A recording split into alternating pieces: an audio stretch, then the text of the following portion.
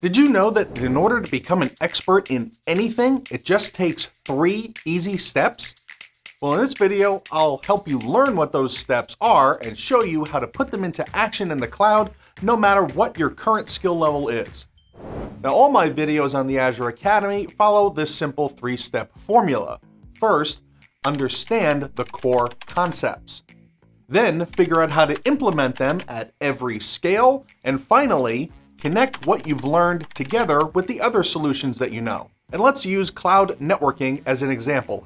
Here's my global network spanning three regions, East US, UK South, and Japan East. And each region is set up with its own hub and spokes, and then the hubs are all interconnected, secured, and routable. And the code to build all this is up on my GitHub, linked in the description, so you can learn along with me without impacting your existing environments. Now, networking may seem really complicated, but it's actually very easy if you think of it like your neighborhood, with all of its houses and streets located near some stores down the road from all the other neighborhoods. And if you connect several neighborhoods together, you get a city. And cities need shared services like security, medical, and sanitation. That's just like scaling your single network up to a hub and spoke network.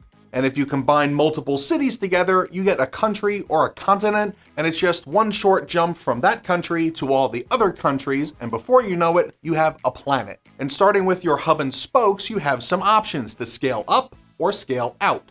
You can scale up with more hub and spokes in that same region or into other regions, and you can scale out into multiple subscriptions and even multiple clouds. So that all sounds like a lot. How is this possible? Well, you've already done the hard part, the planning. So when thinking about your planning, it all starts with the why. Why do you need anything more than just one network or one hub and spoke? Well, one reason could be security, like the users with their data in the US need to be kept separate from all those users in Asia. Or maybe you've grown past the limits for a single Azure subscription like these, and you need to push into new regions or new subscriptions to keep growing. And to do all this, the thing you really have to remember is that all your different address spaces across your networks need to be unique so that they can be peered together. And that brings up an obvious question, network topology. Do you want a single hub with multiple spokes? Or a hub in each region that'll keep your traffic regionally isolated and only allow traffic across hub to hub for specific purposes? And of course, you need to think about where is your on-prem if you need to use one, and how will you get there from all those different places? Will each hub connect to the on-prem on their own, or will they go back to a primary hub and go on-prem? Now, building a planet-sized network takes a lot more than just deploying some VNets. You need to set up connectivity, security, routing, and DNS, which does sound like a lot of work.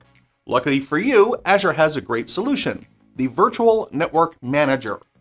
It makes managing things at the planet-sized network all the way down to a single hub and spoke really easy. You just pick your subscription and resource group and give it a name, and then you pick the region you want to manage everything from. Then you can throw in a description if you like, and you have now some features to pick from. Connectivity will handle all the peering and topology. Security admin, that's the rules for the network. And routing is a new preview feature, which is kind of self-explanatory, so I'll just pick them all. Click Next, and since the manager is such a powerful tool, it needs a scope of what you want it to control. So click right here and add one. Now you could manage everything from the top root level all the way down, or you could just pick an individual subscription. However, none of your scopes can overlap. Two connectivity managers can't have control over the same subscription.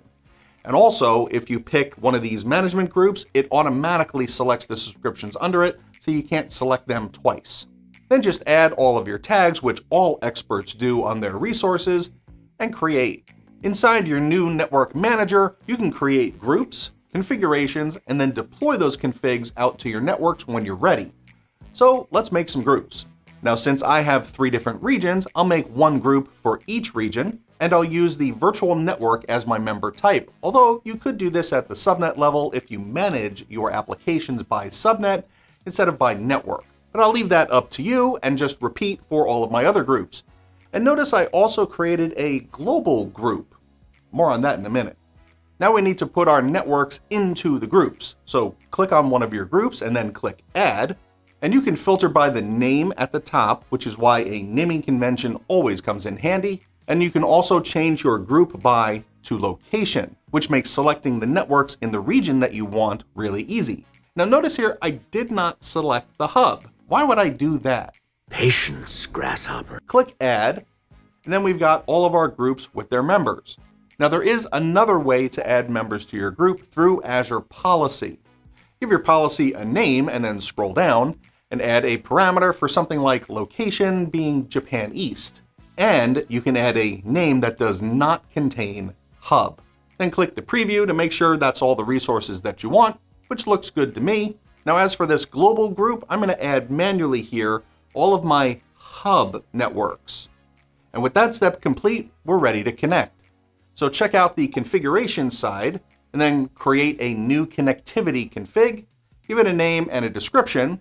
And on the topology tab, you can choose from a mesh which connects all networks to each other equally. And that could be good for simplified routing, but it also is kind of an open connection model, which does have some security risk.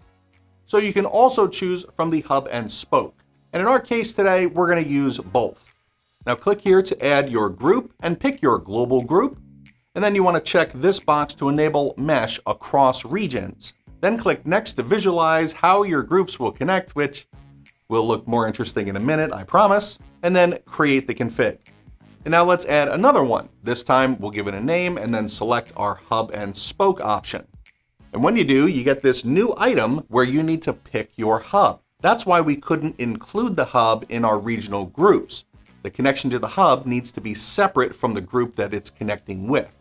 And you could also check this box to delete any existing peers, which is kind of cool because that means that you can use Virtual Network Manager on your current existing networks, regardless of how they're set up, and Network Manager will put them all in the right place.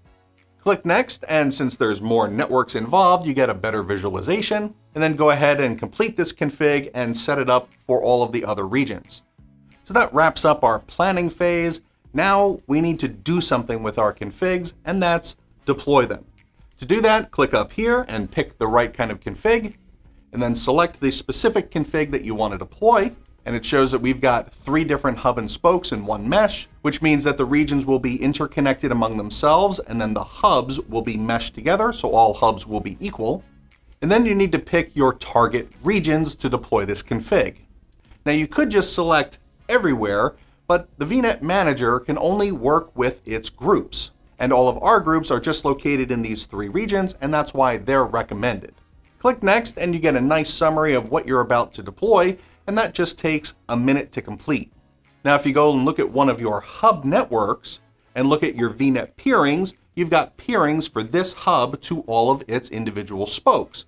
But we don't see that mesh connection anywhere. For that, you need to go to the VNet Manager and there's your mesh connection back to the hub. And now you've done it. You've really done it. You've got this gigantic global interconnected network and the attackers are all ready to start hacking like barbarians at the gate. Thankfully, Network Manager has the answer with a little bit of help. Now there are three basic ways to secure your network traffic in Azure. Network security groups, firewalls, and Network Manager's security admin rules. Now, one of the main differences between them is the where and when they get applied. Security admin rules are enforced before any other rules. And that can be a double-edged sword. So the expert way to use them is to control traffic at the highest levels in and out of your network. Then you use the firewalls inside the hub and spokes and between the different hubs to control everything.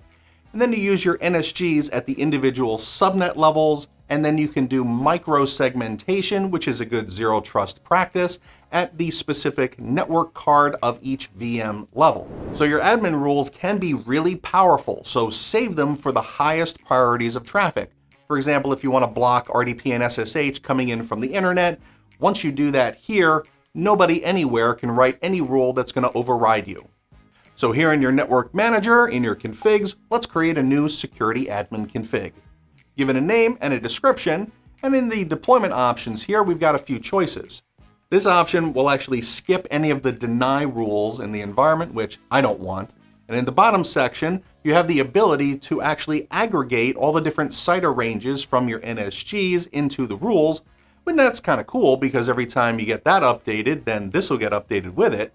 Now on the next tab, you can create a rule collection, and that's where the rules get stored, just like in the Azure Firewall. And that's gonna need a name, and then you pick your target group. Now you could just pick one or multiple, that's up to you and your rule. And then click here to add a rule, and this looks pretty much like the firewall or NSG format, so you should be familiar with it. It needs a name and a description, a priority, the action that will be taken, the direction, the protocol, and then your source destination with their ports. And I'm allowing here port 53 from anywhere through my global groups. And the one thing to pay attention of here is the action. Now, of course, you know allow or deny, but we have this new one here, which is always allow. And that's going to override the other traffic rules all the way down to the NSGs. And then I've added a few more for DNS, both on TCP and UDP in both directions. Then back in the manager, go to deployments, pick your security one, select your admin rule that you want to deploy, click your regions just like before, and then deploy. With that done, you can jump back to your virtual network. You can go to the network manager at the security tab and them's the rules. So now that we've allowed DNS to flow on port 53, we have a problem. We don't have anywhere to send it without any DNS servers. Well, to do that, you might have gone to your virtual networks to the DNS servers and then changed it to custom and entered all of the IP addresses for your DNS hosts. And that will work, but the expert way is to manage things centrally using the private DNS zone. Pick where you want to build it and then give it a fully qualified domain name. Now, this isn't a internet registered name. This is just something inside your network, kind of like your AD domain name. And with that done, you got to go to the record sets and you can add a new one. And there's all different kinds of records here, but for right now, we just want A records for our DNS servers, which happen to be my domain controllers, and their specific IP addresses. So once you've got them all added and any other rules that you want, go to the virtual network link and then add one of those, give it a name, pick your virtual network, and unfortunately, you'll have to do this one at a time. Then you want to check this box for auto registration, which will add any other new VMs and other resources automatically, just like all your native DNS solutions. And once you're done, it'll look something like this. Back on the VNet side, take a look at your DNS servers and notice it's using the default Azure DNS. And that's cool because it lets you reach all of the Azure cloud services without any additional help, and the private zone is linked to the VNet, so it'll take care of everything else. Okay, so now name resolution will work across your global network, but how do we get there? Back in the VNet Manager, we have a new config feature, and that's for routing. And you should be an expert at this by now. Name, description, add a collection, give that a name and a description, pick your groups, and then we have the rules. And this just looks like Azure routing rules. So you give it a name, select your destination, for example, going from uh, the one hub and spoke in Europe over to the US. So just add the CIDR range where you want to get to, and then for the next hop, choose the virtual appliance. And then you can click this handy link to select from your firewalls, pick the one that's in your source region, click add, and then repeat for the other regions. So now we've got a rule that takes us from the UK over to the US and Japan through our firewalls. When you have your routing rules set, go back to the VNet Manager, to the deployments, add a new deployment, pick your routing rule, pick your regions, and then click Deploy. So now the traffic will go from the spokes to their own hubs, to their own firewalls, cross to the other firewalls, which means all your firewalls need to know how to send and forward that traffic. Then the traffic will go to that target hub to that particular spoke, and then if the subnet NSG allows the traffic in and the VM's microsegmentation NSG allows the traffic in, you're communicating.